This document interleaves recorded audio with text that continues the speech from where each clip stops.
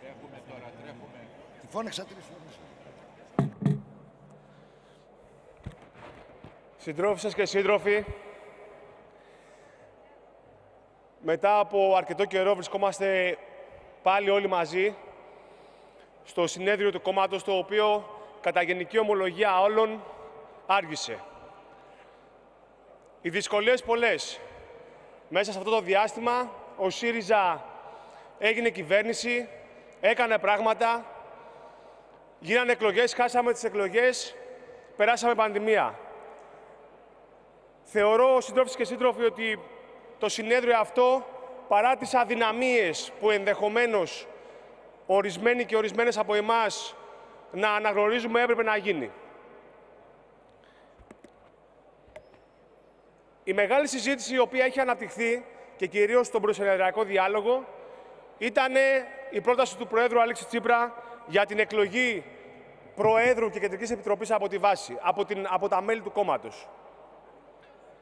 Θεωρώ, σύντροφοι και συντρόφισσες, ότι η πρόταση αυτή μπορεί να λειτουργήσει ως ελαττήριο, ώστε ο ΣΥΡΙΖΑ να αποκτήσει πάλι σχέσεις με, τον, με την κοινωνία.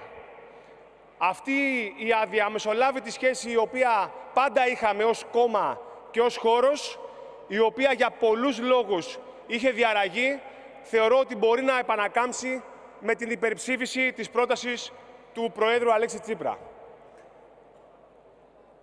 Ο ΣΥΡΙΖΑ μέσα σε αυτό το χρονικό διάστημα, μέσα στο διάστημα δηλαδή των δυσκολιών, κατάφερε να αναπτυχθεί. Κατάφερε να κάνει εκλογές, να λειτουργήσουν νέα όργανα στις οργανώσεις μελών, νέες νομαρχιακές, κατάφερε να εγγράψει νέα μέλη στις οργανώσεις του. Θεωρώ ότι υπάρχει παραπάνω δουλειά να κάνουμε. Θεωρώ ότι είναι δική μας αρμοδιότητα, όλων μας, να συμμετάσχουμε σε όλες τις εκφάνσεις της κοινωνικές από τις οργανώσεις των συλλόγων γονέων και κινδεμόνων μέχρι τα πρωτοβάθμια σωματεία, μέχρι τις ομοσπονδίες. Έτσι ώστε η πρόταση του ΣΥΡΙΖΑ και όλα όσα εμείς κάναμε ως κυβέρνηση να αποτυπωθούν στην συλλογική συνείδηση της κοινωνίας. Δυστυχώς, δυστυχώς η κοινωνία δεν έχει μάθει τι ακριβώς κάναμε την περίοδο της διακυβέρνησης. Παρά το γεγονός ότι μπήκαμε στην διαδικασία της κριτικής για όσα κάναμε ή όσα δεν κάναμε, στη διακυβέρνηση του κόμματος. Θεωρώ λοιπόν ότι είναι δική μας αρμοδιότητα, δικό μας μέλημα να ενημερώσουμε την κοινωνία πώς πρέπει από εδώ και πέρα να δράσουμε και τι, και τι πρέπει να κάνουμε. Σύντροφοι και συντρόφισσες, ο ΣΥΡΙΖΑ αλλάζει. Εγώ από οργανωμένο μέλος της νεολαίας του συνασπισμού, τώρα μέλος της Κεντρικής Επιτροπής, μέχρι σήμερα δηλαδή, μέχρι μεθαύριο που θα ψηφιστεί που θα, που θα αλλάξουμε μέλος της Κεντρικής Επιτροπής του ΣΥΡΙΖΑ Προοδευτική Συμμαχία. Σε αυτό το ταξίδι όλοι χωράνε. Σε αυτόν τον χώρο όλοι χωράνε. Δεν μπορεί να υπάρξει διαφοροποίηση συντρόφων και συντροφισών μεταξύ του 3 και του 33%. Όλοι μαζί και όλες μαζί δώσαμε τη μάχη έτσι ο ΣΥΡΙΖΑ να γίνει αξιωματική αντιπολίτευση και στη συνέχεια κυβέρνηση έτσι ώστε να βγάλουμε την χώρα και την κοινωνία από τα μνημόνια και τα δεινά που οι μονοκομματικές κυβερνήσεις του ΠΑΣΟΚ και της Νέας Δημοκρατίας τους βάλανε. Σημείο αναφοράς, συντρόφοι και σύντροφοι, είναι η Συμφωνία των Πρεσπών.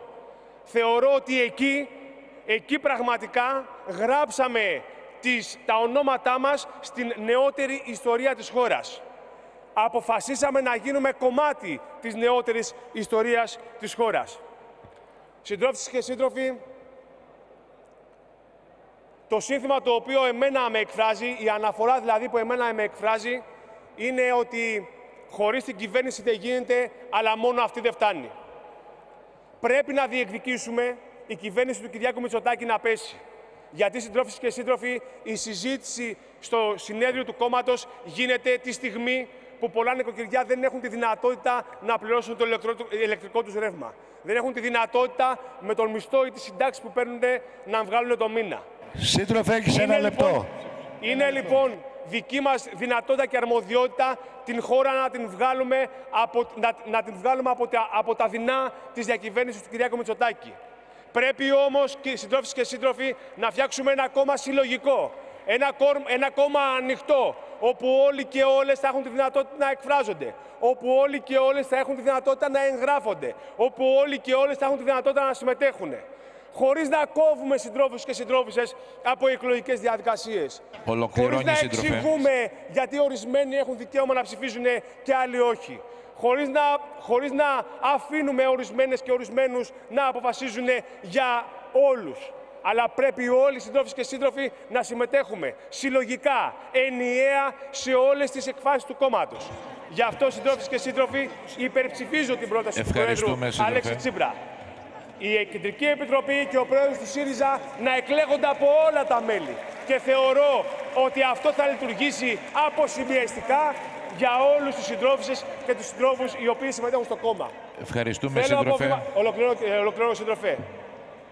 Θέλω από βήματο του συνεδρίου να σας πω ότι τώρα είναι η αρχή, είναι μια νέα αρχή, ώστε ο ΣΥΡΙΖΑ να γίνει πλειοψηφικό ρεύμα, είμαστε πλειοψηφικό ρεύμα, να γίνει πλειοψηφικό ρεύμα στη συνείδηση της κοινωνίας, να κερδίσουμε τις επόμενες εκλογές για να μπορέσουμε να σώσουμε την κοινωνία από τα δεινά που περνά. Ευχαριστώ πολύ. Ευχαριστούμε, σύντροφε.